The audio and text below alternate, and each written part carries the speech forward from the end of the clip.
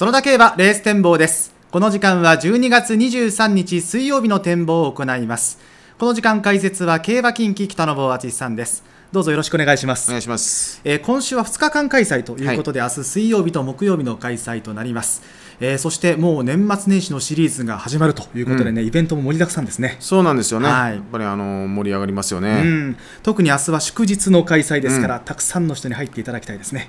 そりゃそうですよね。ねえ。えーそして全国で、まあ、インターネットを使ってね馬券も買えますんで、うん。ぜひたくさんの方に楽しんでいただければとい。うことですね、では明日のラインナップご覧いただきましょう。ご覧の11レース組まれています。メインレース10レースとそして準メイン9レース展望を行います。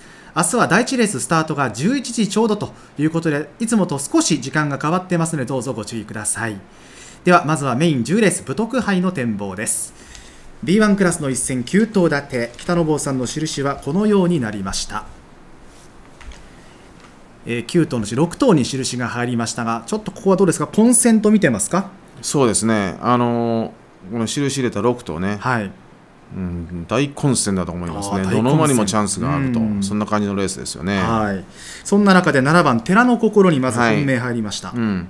あのまあ一番のポイントはこの馬にとっては馬場なんですよね。はい、だから今日の馬場がね朝の調教の時で主なんですよね。えーでこれがどこまで回復してくれるのかあるいはちょっとあ、ね、天気が崩れるという予報もありますからうんそうですね。どういう馬場になるかなんですけどもね不良になってくるとこの馬しんどいんですよ。あ2走前ドロンコ馬場で全く伸びなかったですからね、だから重でもやや重に近い重ぐらいだったらまだなんとか克服できると思うんでね。えまずは馬場状態がポイントになるとは思うんですけども、ただまあ前回がね、あのースタートしてぜ、えー窮屈になりながらでもきっちり差し切りましたからね、はい。能力がたあることは確かですよね。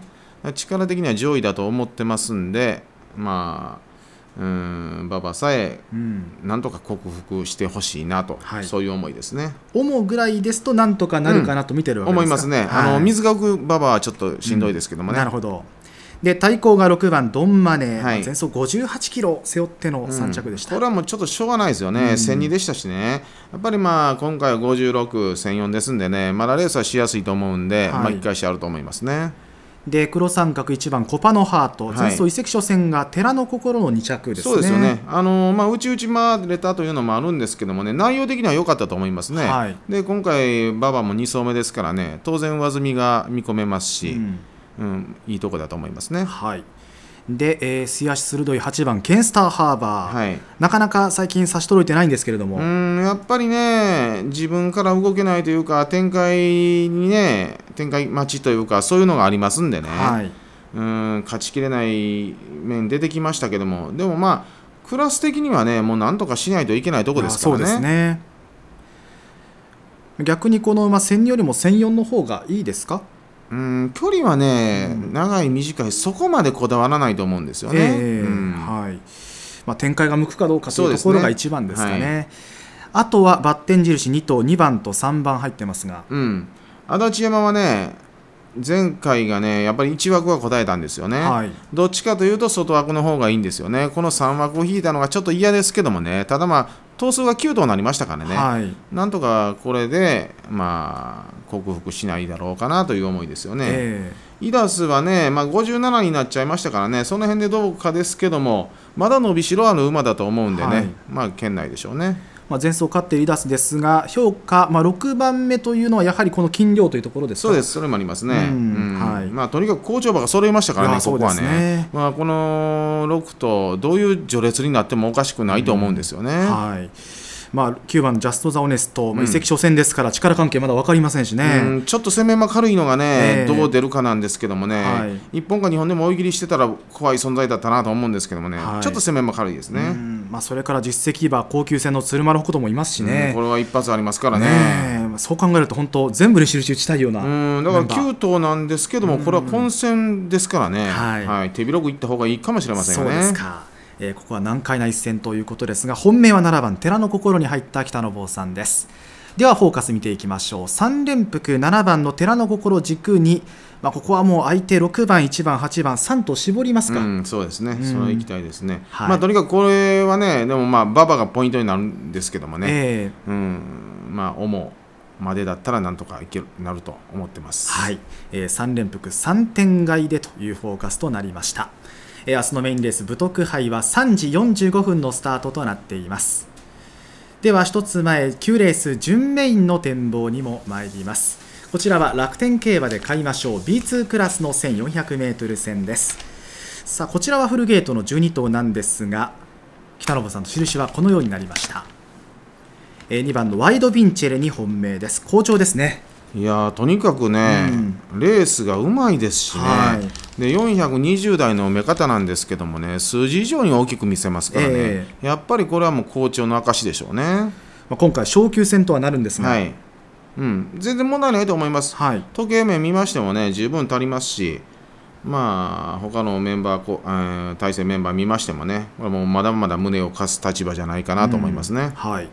えーそれから対抗は1番モズの花道前走3着でした、うん、あのーこの馬もねやっぱりちょっと勝ち身に遅いところはあるんですけどもね、はい。ただまあ前回はレースぶり変わりましたよね。向こう正面から早めに動けたというのがね非常に中身の濃い一戦だったなと思うんですよね。えだからまあこれまで通り入着圏内までの伸びでしたけどもねいつもよりは足使えてましたからね。もう一度ああいう早めのスパートに持ち込める形になればね面白い存在になるんじゃないかなとは思ってます。ーはいで3番手評価4番サラダガール。こちらは昇級2戦目です、うん。これは前回7着ですけどもね完全に4コーナーであの競争中止した馬の煽り食らいましたからね、はい。これは度外視できると思うんですよね。まあ、とにかく2連勝してこの間が7着、まあ、スムーズだったらもうちょっと走れてましたからね、はい。うん、今の出来だったらこのクラスでもやれると思いますね。えー前走は決してクラスの壁ではない、はい。ということですね、はい。見直したいというサラダガール、えーで白三角4番手評価が9番大西ホーネットですね、まあ、木村君乗ってこのまま3回ともレーンに来てるんですよね。ね。相性もいいですし、叩き2走目、前回3着、良くなってきたことは確実ですからね、はい。まだ上がり目あるんじゃないかなとは思ってます。はい、であとは6枠2頭に最後の印ですけども、うん、特にポムショコラね、はいこのまやっぱりね、あの使い込んでくるとマンネリ化するタイプなんですよね。ええだから叩き2走目でガラッと変わりましたよね。あまあ3走目、4走目までぐらいがこの馬にとっての狙い目じゃないのかなという思いはありますよね。それ以降、やっぱり使い込んできたら、なんかボケーっとするようなタイプですんでね、はいまあ、今回も当然狙い目あると思います。KG1 番もきっちりと相手には来てますからね、はい。この馬もまだ伸びる一頭じゃないかなとは思ってます。はい。えーという6頭評価となりました。ではフォーカスです、えーこちらは本命打たれた2番のワイドビンチェレ。軸に3連複相手4頭、えー全部で6点買いということになります、えー楽天競馬で買いましょう。どうぞフォーカスもご参考になさってください、えー9レーススタートは3時5分となっていますえー今週は2日間開催で行われます。水曜日と木曜日の開催です、えーそして明日からいよいよ年末年始のシリーズスタートということでたくさんの場内イベントも行われます。我々の後ろにも、うん。ねこのイベントのポスターがあるんですけれども、えーこのようなイベントが行われます、えーモニターでもご覧いただきましょう。本当盛りだくさんですね。そうなんですよね、ええ。毎日もうね、これ楽しいですよね、JR レジのジョッキーがあってね、そうなんですよ。いっぱい来てくれますしね、はいあくまでこれ年末までの分ですからね、うん。えーまた後々ね、えー年始の分も発表されると思いますけども、はい。ホームページに行けば年始の開催のねイベントもご覧いただけますので、ぜひ、はい。えー見ていただきたいなと年始の思います。方がね、うん盛りだくさんですよね。より、うん。ね一層盛りだくさんという感じですからね。えーこのようなイベントがありますしそれから明日はいよいよゴールドトロフィーも明日明後日ですね、はい。ゴールドトロフィーも行われますので、はい。えーこちらもぜひご注目いただきたいと思います。ゴールドトロフィーなかなかいいメンバーじゃないですか？揃いましたね、ううん。それにあのなんて言っても、今年は武豊君がはい。久しぶりに来てくれますからね、そうですね。あれが非常に嬉しいですね。はい、えーということで今週は2日間開催。どうぞお楽しみください、えーここまでは北野敦さんの解説でした。どうもありがとうございました、はいありがとうございました。競馬今週2日間開催です。どうぞお楽しみください。